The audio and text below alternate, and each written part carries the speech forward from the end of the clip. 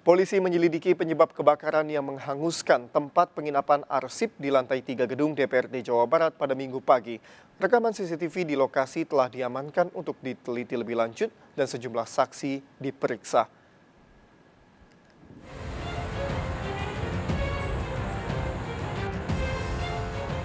Pasca terjadinya kebakaran yang menghanguskan tempat penyimpanan arsip di lantai 3 gedung DPRD Jawa Barat, tim Inafis Kepolisian Resort Kota Besar Bandung melakukan olah tempat kejadian perkara untuk mengetahui penyebab pasti kebakaran.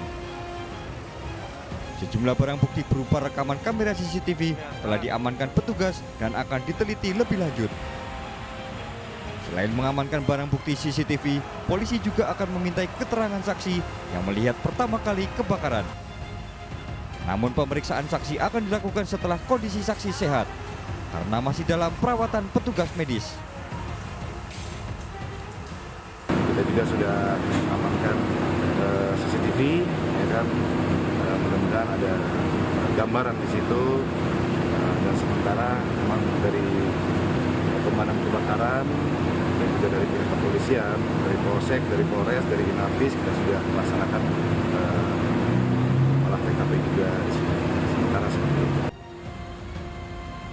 Kepolisian belum bisa memastikan arsip apa yang terbakar kepolisian akan terus berkoordinasi dengan pihak DPRD Jawa Barat. Sebelumnya, pada minggu pagi, ruang penyimpanan arsip yang berada di lantai 3 gedung DPRD Jawa Barat terbakar.